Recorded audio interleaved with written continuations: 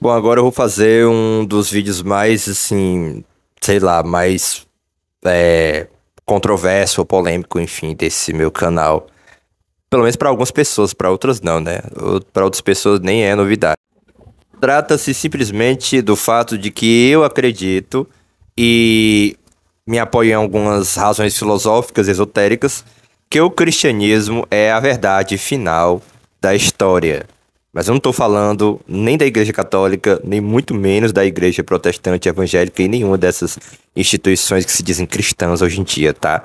Eu falo de uma percepção do cristianismo que se apoia em alguns, algumas reflexões filosóficas e algumas razões esotéricas que não são absolutas, mas que servem ao propósito de uma eh, desenvolvimento de uma espiritualidade mistérica, neoplatônica, cristã, enfim.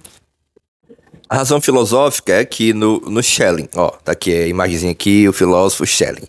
Porque é o seguinte, se você entende a história da humanidade, né, como o desenvolvimento do espírito na história, então você tem que reconhecer que a chegada do cristianismo representa uma etapa do espírito da história, onde o sofrimento é entendido como a própria redenção do mal.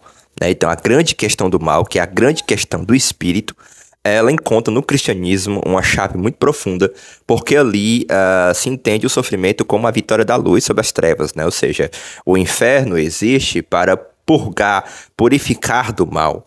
Né? Ou seja, é, é, toda essa questão de um do logos que se encarna na história e que a redenção do mal tem a ver com tudo isso. Então, não é que o cristianismo seja a única religião verdadeira, mas que ele seria uma espécie de combinância do espírito humano na história né? ou seja, a chave uh, mais profunda sobre essa questão da liberdade, essa questão do mal, toda essa questão da justiça divina e etc.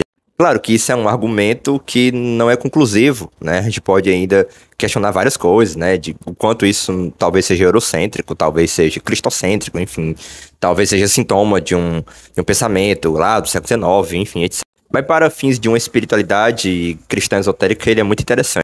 E falando da dimensão esotérica, o cristianismo seria a Séfira de Daaf, da Cabala, seria Saturno, aquela Séfira onde está aqui mais ou menos na garganta, né, é, onde seria a oposição da Lua, né, o Saturno tem a cruz, né, do sofrimento, então há o abismo, né, então a crucificação, né, então, assim, é, esotericamente, o cristianismo seria a casa 12, vamos dizer assim, né? Seria toda essa seria toda essa questão de que, como diz, por exemplo, uns pontos de um banda que diz assim, né?